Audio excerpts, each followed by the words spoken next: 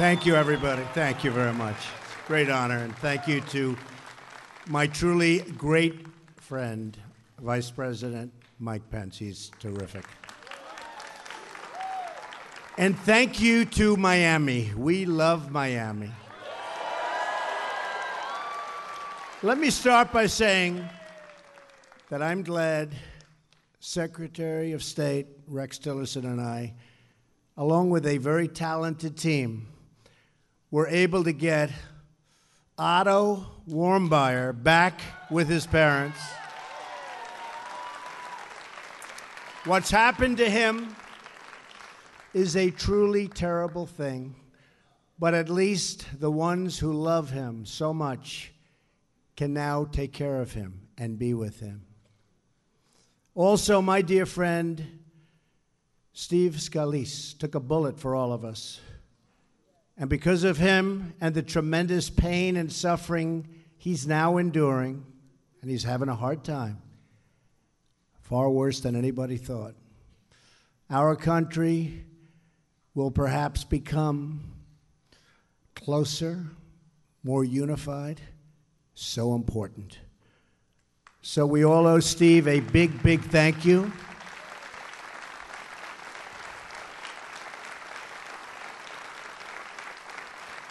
And let's keep the Warmbier family and the Scalise family and all of the victims of the congressional shooting in our hearts and prayers. And it was quite a day, and our police officers were incredible, weren't they? They did a great job. Good job. And let us all pray for a future of peace, unity, and safety for all of our people. Thank you. And for Cuba. I am so thrilled to be back here with all of my friends in Little Havana.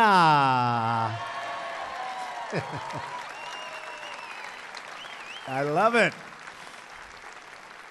I love this city. And one of the big thank you. Thank you.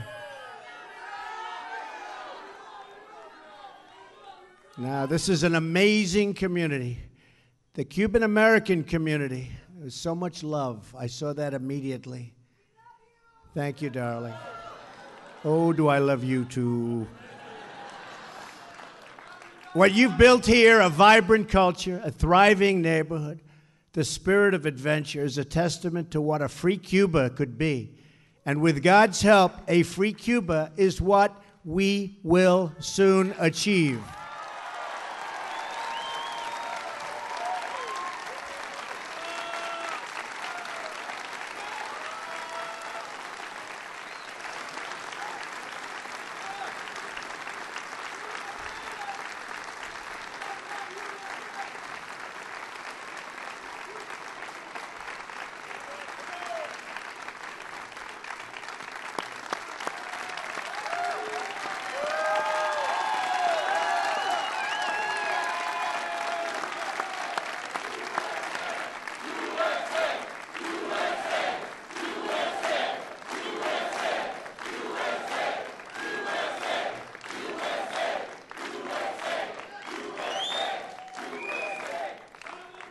And I don't even mind that it's 110 degrees up here. this room is packed. You know, it wasn't designed for this. I'd like to thank the fire department. We are delighted to be joined by so many friends and leaders of our great community.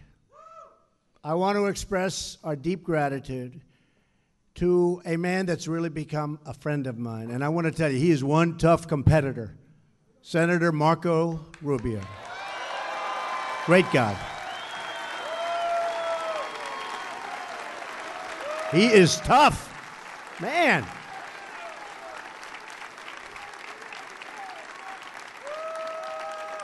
He is tough and he's good and he loves you.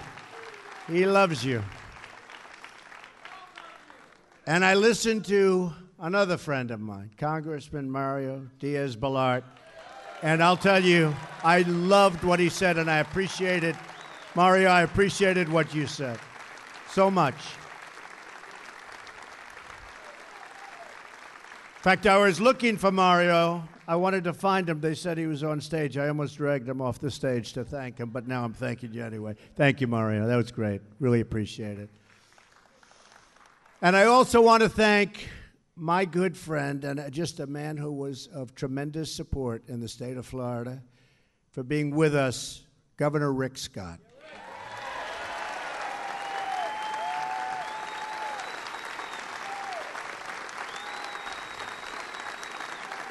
Great job. He's doing a great job. Oh, I hope he runs for the Senate. I know I'm not supposed to say that. I hope he runs for the Senate. Rick, are you running? Huh? Huh? I don't know. Marco, let's go. Come on, we got to get him to. I hope he runs for the Senate. We're deeply honored to be joined by amazing veterans of the Bay of Pigs. These are great people, amazing people.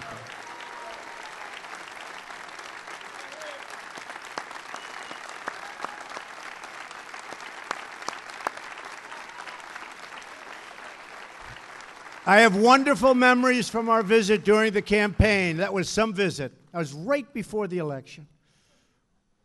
I guess it worked, right? Boy, Florida as a whole and this community that supported us like by tremendous margins, and we appreciate it. But including one of the big honors, and that was the honor of getting the Bay of Pigs Award just before the election. And it's great to be gathered in a place named for a true hero of the Cuban people. And you know what that means.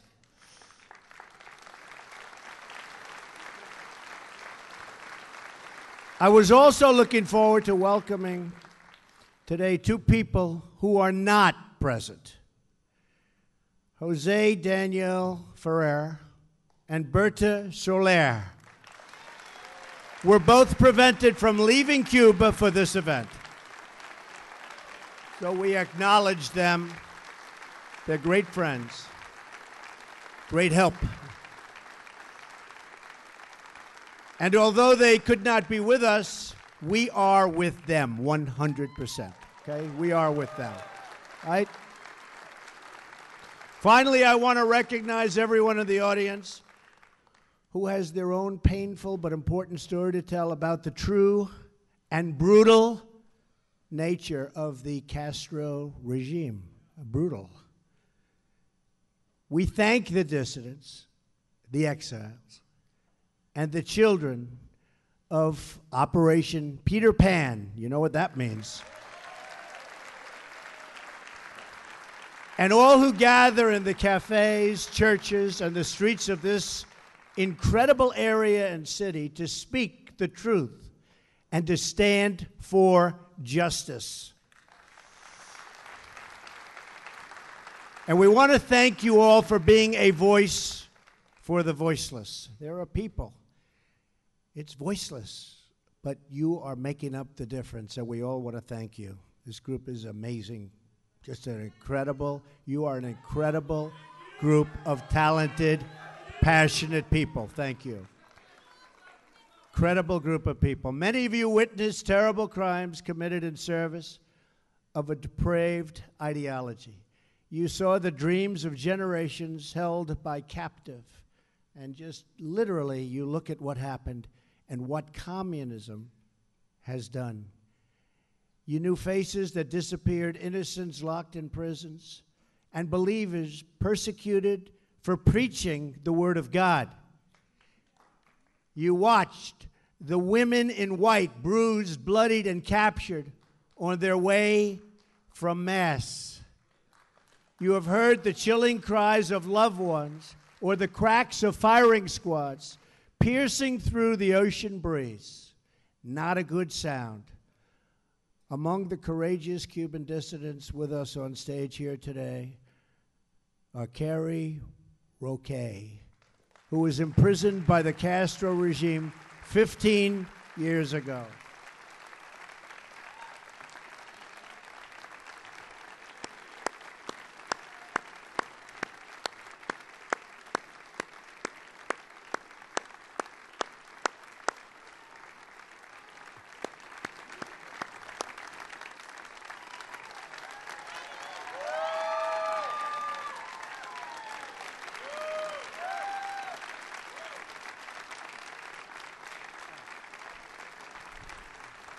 She looks awfully good.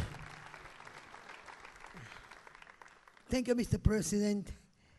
Thank you, Mr. Vice President. Thank you, Marco Rubio, Mario Diaz Balart. Thank you to all the men and the Cubans who fight, no matter what the times can be, for the Cuban liberty. On behalf, Mr. President, on behalf of the Cuban people, the people inside my eyes, my homeland, thank you. Thank you, and we appreciate your love.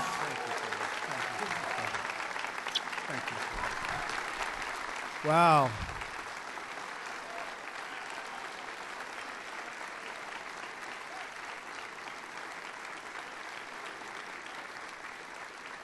That's pretty good. She didn't know she was going to do that either, I will tell you.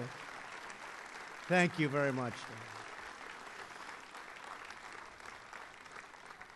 Antunez, imprisoned for 17 years. Where is he?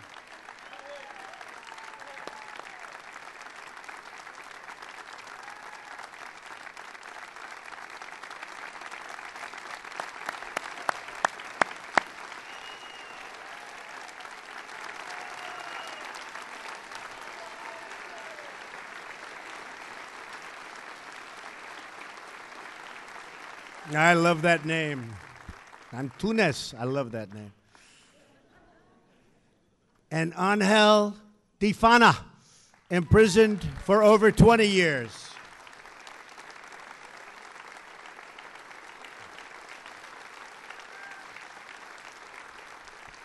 Thank you.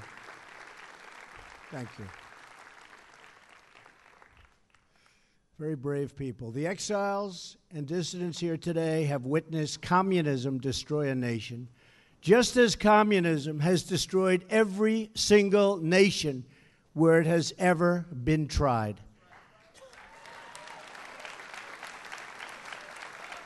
But we will not be silent in the face of communist oppression any longer. You have seen the truth, you have spoken the truth and the truth has now called us, this group, called us to action. Thank you. Last year, I promised to be a voice against repression. In our region, remember, tremendous repression, and a voice for the freedom of the Cuban people. You heard that pledge. You exercised the right you have to vote you went out and you voted, and here I am, like I promised. Like I promised.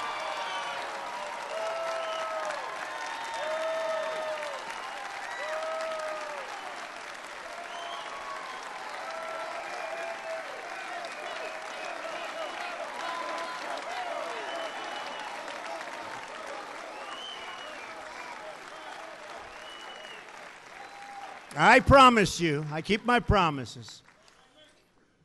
Sometimes in politics, they take a little bit longer, but we get there. We get there. Don't we get there? You better believe it, Mike. We get there.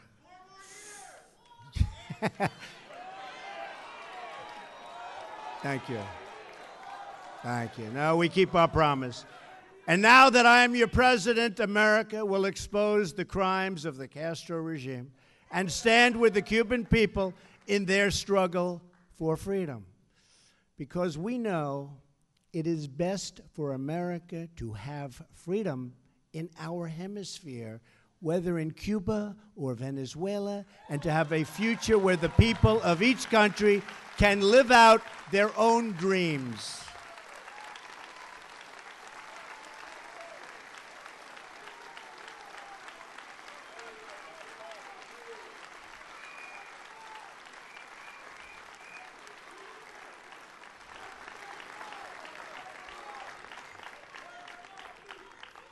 For nearly six decades, the Cuban people have suffered under communist domination. To this day, Cuba is ruled by the same people who killed tens of thousands of their own citizens, who sought to spread their repressive and failed ideology throughout our hemisphere, and who once tried to host enemy nuclear weapons 90 miles from our shores. The Castro regime has shipped arms to North Korea and fueled chaos in Venezuela. While imprisoning innocents, it has harbored cop killers, hijackers, and terrorists. It has supported human trafficking, forced labor, and exploitation all around the globe. This is the simple truth of the Castro regime. My administration will not hide from it, excuse it, or glamorize it. And we will never, ever be blind to it. We know what's going on, and we remember what happened.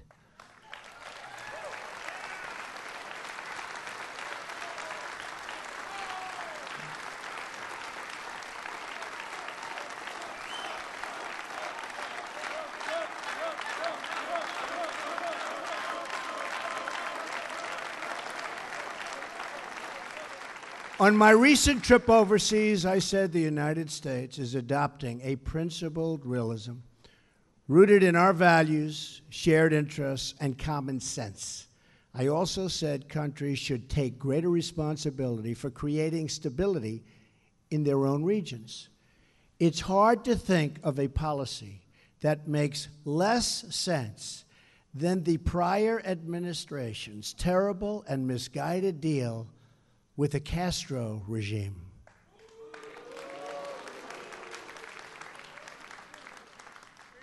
Well, you have to say the Iran deal was pretty bad, also, at all. Let's not forget that beauty.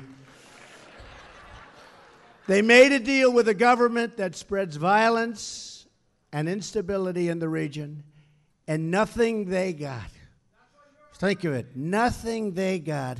They fought for everything and we just didn't fight hard enough. But now, those days are over. Now we hold the cards. We now hold the cards. The previous administration's easing of restrictions on travel and trade does not help the Cuban people. They only enrich the Cuban regime.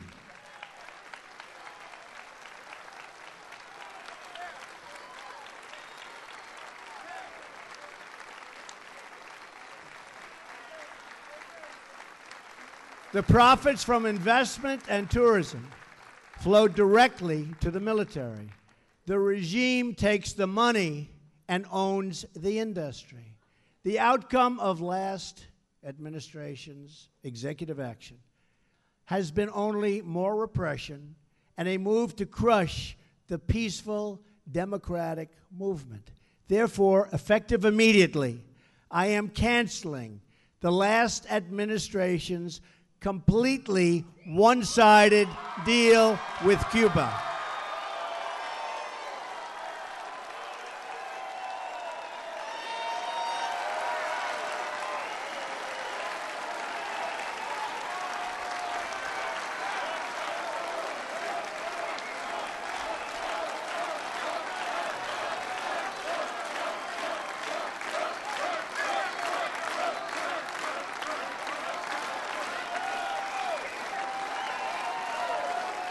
I am announcing today a new policy, just as I promised during the campaign. And I will be signing that contract right at that table in just a moment.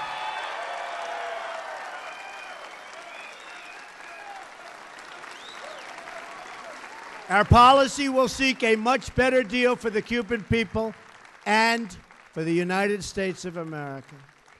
We do not want U.S. dollars to prop up a military monopoly that exploits and abuses the citizens of Cuba.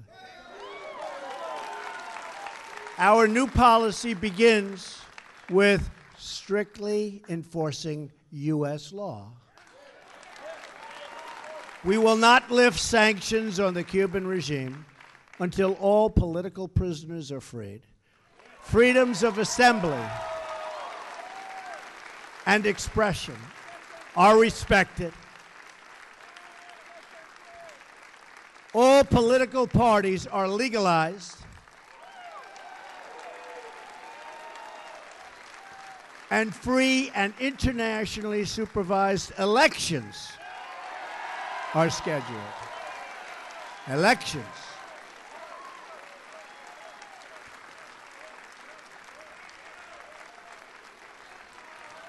We will very strongly restrict American dollars flowing to the military, security, and intelligence services that are the core of the Castro regime. They will be restricted. We will enforce the ban on tourism. We will enforce the embargo. We will take concrete steps to ensure that investments flow directly to the people so they can open private businesses and begin to build their country's great, great future, a country of great potential.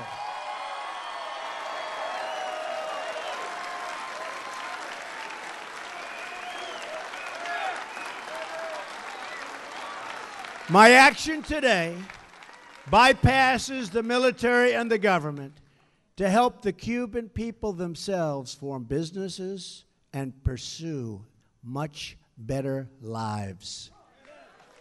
We will keep in place the safeguards to prevent Cubans from risking their lives to unlawful travel to the United States. They are in such danger the way they have to come to this country, and we are going to be safeguarding those people. We have to. We have no choice. We have to.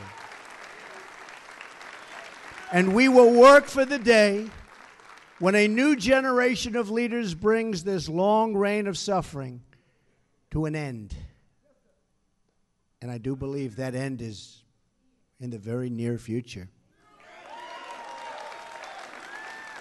We challenge Cuba to come to the table with a new agreement that is in the best interests of both their people and our people, and also of Cuban Americans.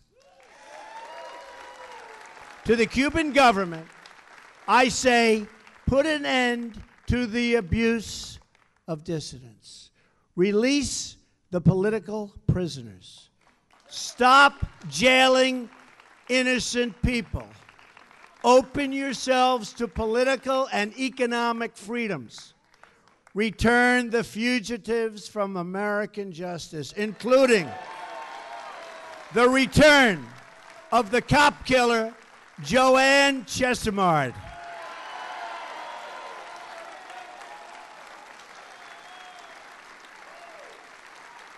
And finally, hand over the Cuban military criminals who shot down and killed four brave members of Brothers to the Rescue who were in unarmed, small, slow civilian planes.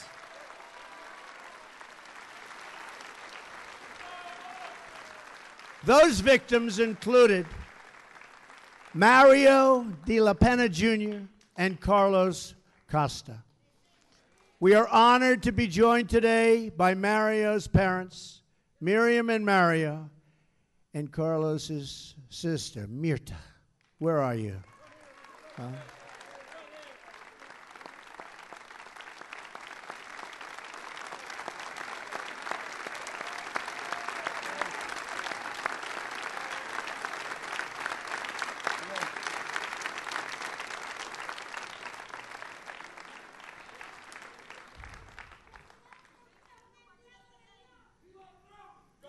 Those are great, those are great, great parents who love their children so much.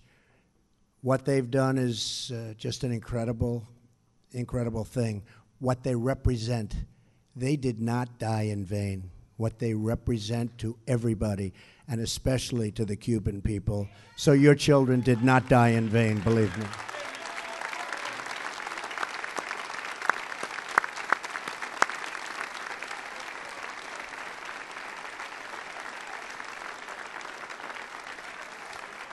So, to the Castro regime, I repeat the harboring of criminals and fugitives will end. You have no choice. It will end. Any changes to the relationship between the United States and Cuba will depend on real progress toward these and the other goals, many of which I've described. When Cuba is ready to take concrete steps to these ends, we will be ready, willing, and able to come to the table to negotiate that much better deal for Cubans, for Americans, much better deal. And a deal that's fair. A deal that's fair. And a deal that makes sense. Our embassy remains open in the hope that our countries can forge a much stronger and better path. America believes that free, independent, and sovereign nations are the best vehicle for human happiness, for health, for education, for safety, for everything. We all accept that all nations have the right to chart their own paths, and I'm certainly a very big believer in that. So we will respect Cuban sovereignty, but we will never turn our backs on the Cuban people. That will not happen. Over the years, a special sympathy has grown between this land of the free and the beautiful people of that island so close to our shores and so deeply woven into the history of our region. America has rejected the Cuban people's oppressors. They are rejected. Officially today, they are rejected. And to those people, America has become a source of strength and our flag a symbol of hope. I know that is exactly what America is to you and what it represents to you. It represents the same to me, it represents the same to all of us. And that is what it was to a little boy, Luis Haza.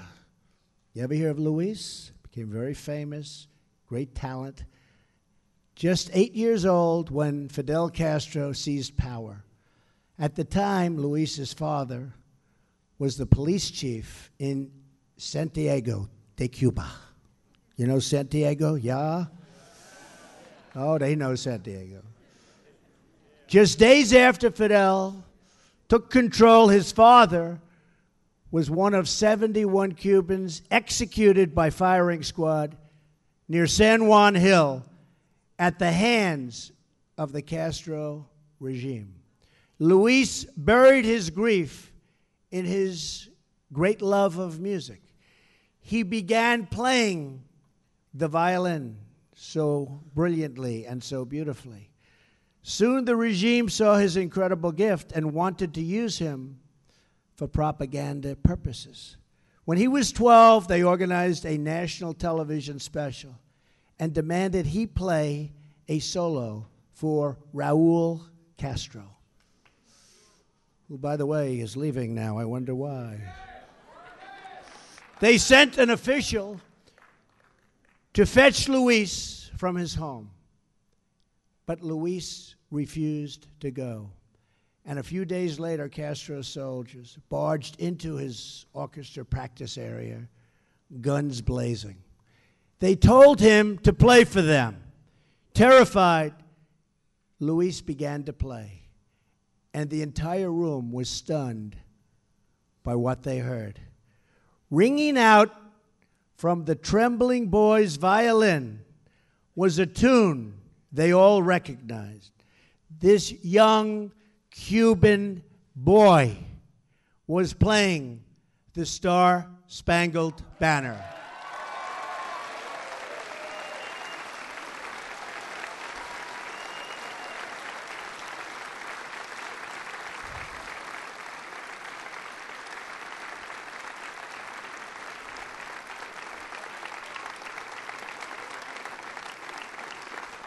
Luis played the American national anthem all the way through.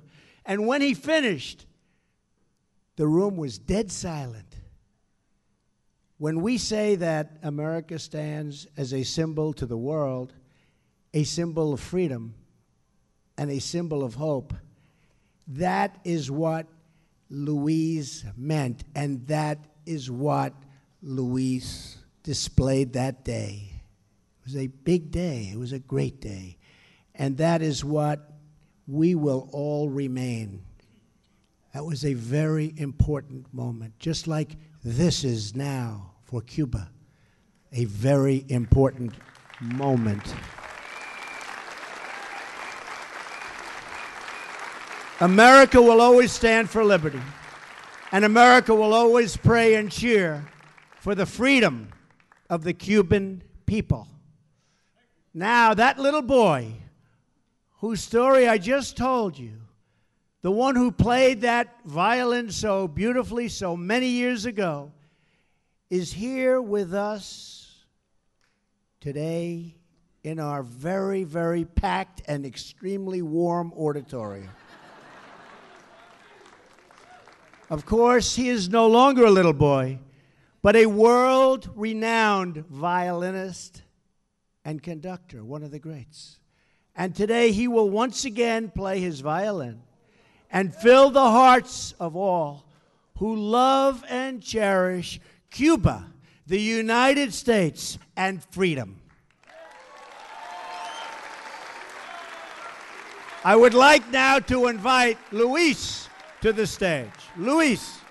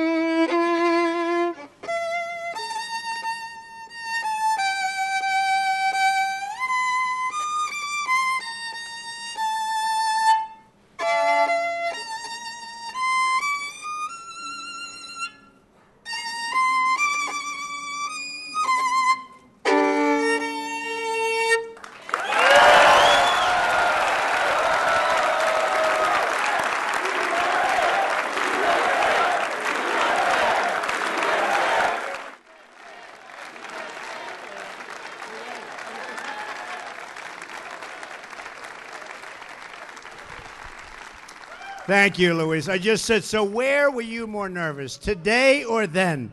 He said, honestly, I think today. That's pretty. Thank you, Luis. That was beautiful.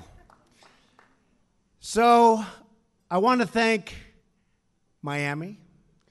I want to thank Little Havana. Ah, Havana, we love. Do we love it? Would you move anywhere else? You wouldn't move to Palm Beach, would you? No. No way. Little Havana. And I want to thank all of our great friends here today. You've been amazing, loyal, beautiful people. And thank you. Don't remind me. Actually, I was telling Mike. So it was two days on my birthday till a big day, which turned out to be tomorrow, the 16th. That was the day I came down with Melania on the escalator at Trump Tower. That's tomorrow. So it's exactly tomorrow, two years since we announced. And it worked out okay. Worked out okay. It's a great honor. Believe me, it's a great honor, right?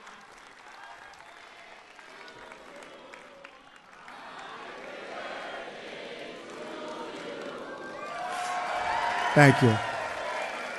Thank you very much. I just want to end by saying, may God bless everyone searching for freedom. May God bless Cuba. May God bless the United States of America. And God bless you all. Thank you. Now I'm going to sign. Thank you.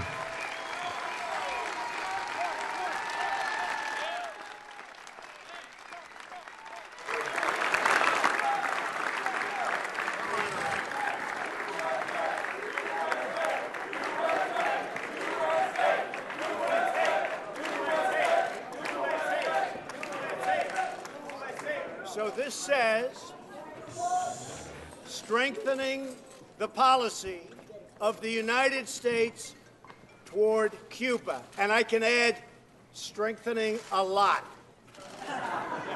So this is very important, and you watch what's going to happen.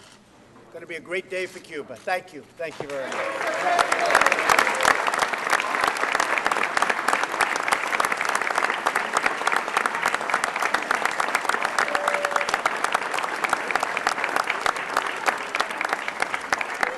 Where's Marco? Marco, you deserve it. Where's Mario? Here, sir. Mario. Who's our third one? Right here behind you, Mr. President. Oh, absolutely.